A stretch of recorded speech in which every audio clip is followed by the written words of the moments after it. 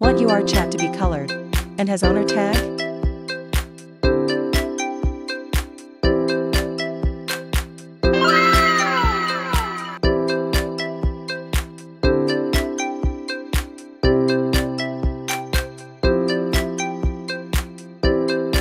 Like this?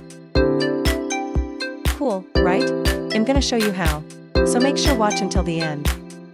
But before getting in the video, could you like and subscribe? My goal is 1000 subscribers.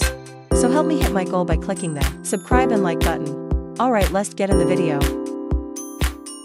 First you need to paste my code. I put the code link in my comments. What you have to do here is to change the username to your username. I put my username. And we are done.